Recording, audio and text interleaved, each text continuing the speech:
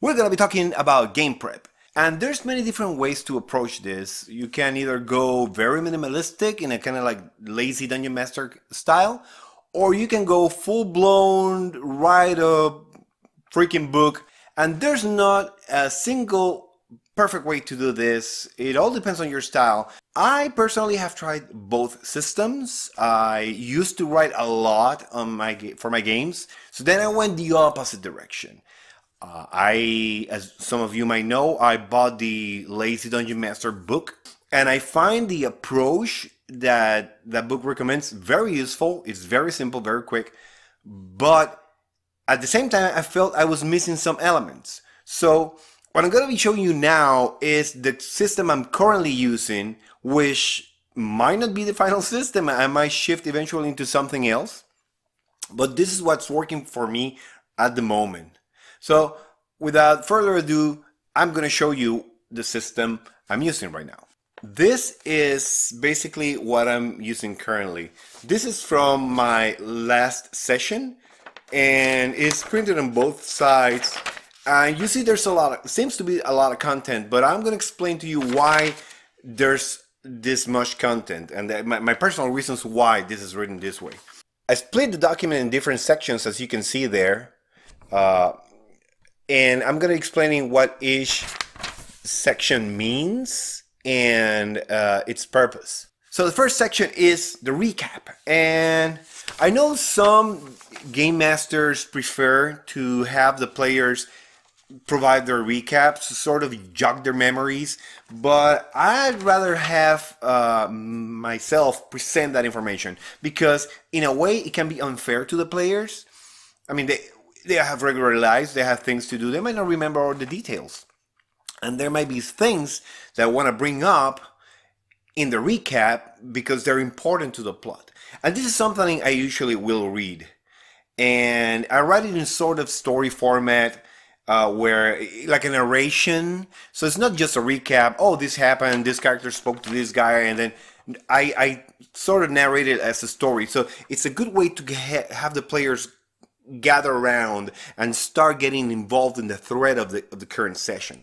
And then after reading that, we segue right into the introduction. And the introduction is just exactly that. It's a way for me to narrate uh, a scene or something that's going on that's going to be introducing them to the actual uh, session.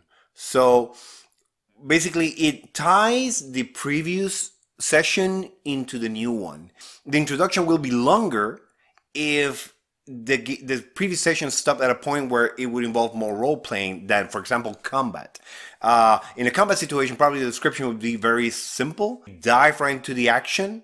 Um, we get the players excited about what's going on. We can talk about the odds, or like in this case, and that's why you see so much text. I'm describing this whole thing about an airship uh, approaching the, the player characters and the situation that develops there and eventually uh, my players learned that their hometown had been destroyed by the enemies. So this is most of the writing is done in the recap and the introduction because again I like to read that and as I'm reading though I'm I might be pointing at player characters and and might be a side comment for that character and remind them of something to, to, to draw them into the story. The next point after that is uh, key points, and key points is just a list of bullet uh, points with important stuff. Different things that I think are important to keep in mind while we interact with the characters in, in that session. Uh, things that might drive the story. These are not actual storylines or plot lines. Is mostly things that I, it, it, it's good for me to keep in mind that I don't forget or that I can make an NPC bring up.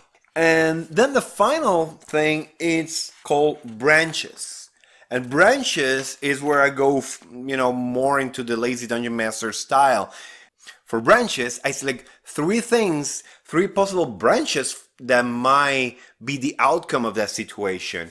It's not railroading. I mean, in the end, my player characters have all the free will they can have in the game, but knowing the story and knowing the players and the characters in the situation, I think of three things they're more likely to head to uh, go to particular places or make certain decisions and so forth. Basically, I'm leaving the world open for my prayers, but I'm also preparing for the possibilities, things that I know are most likely to happen in that session. And that's basically it. That's the system. Um, again, the, the, the areas are recap, where I summarize the previous session, introduction, where I segue the recap into the actual session and read the narration, key points, which is just a reference for myself. It might include dialogue, like I mentioned, and other details. And finally, branches. Where is the story heading to?